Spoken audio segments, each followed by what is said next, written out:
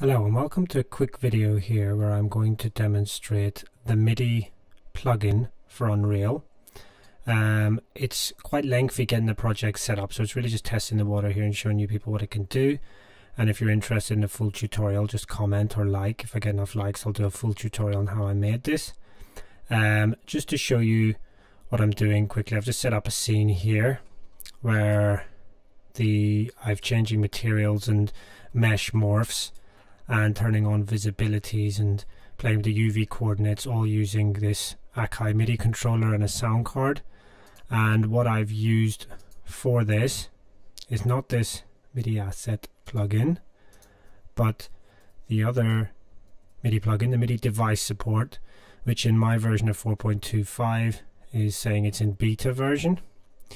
But it works just fine for me and the whole thing is controlled by this horribly messy blueprint but generally relatively basic where we set up a MIDI controller we bind to a custom event we check which MIDI channels coming through and then fire off a sequence of events and do all manner of things like playing sounds like a traditional drum machine doing some mesh morphs changing some colors and so forth and as I said, I will go into this in detail if people are interested. I've just borrowed bits and pieces of tutorials that are on the net and I'll just clean this up a little bit and share it with you if it's something you're into.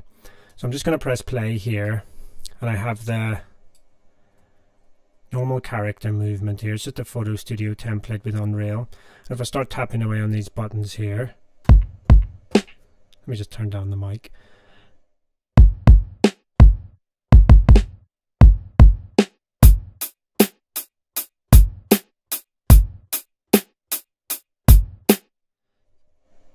So what we have there is um, basically I've mapped the velocities here as well to a mesh morph and you can hear a bit of a latency because from what I've read on the forums um, Epic have prioritized a game over sound latency in this obviously and it's unlikely you'll be using um, something as highly compiled as this to build your own MIDI instruments but it's still great fun being able to play sounds albeit with a bit of latency and seeing pretty much anything I want happen in real time in gameplay here.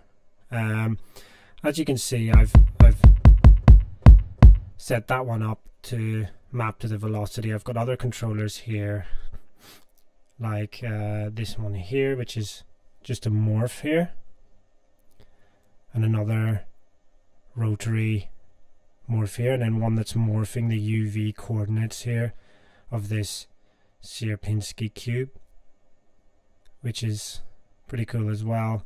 And just the snare there, which is just morphing, and it's it's quite hard for me to reach this with all this stuff in here. Just uh, reversing the direction that morph every time it's tapped.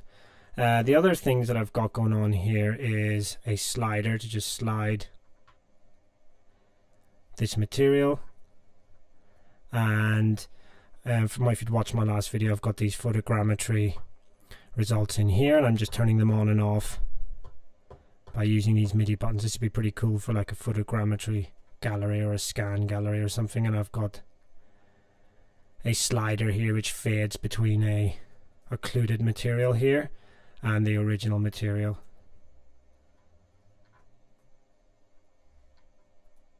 and lastly I've got a button here which changes the camera to a high up camera if I want to see something else happening there. Okay, well, I hope you enjoyed, and if it's any use, um, like, subscribe, and I will do a video on how this whole thing was made. Probably going to be about 15 20 minutes long, but it's not incredibly complicated, and hopefully, I can demonstrate how it was done. Thank you very much for watching. Thank you.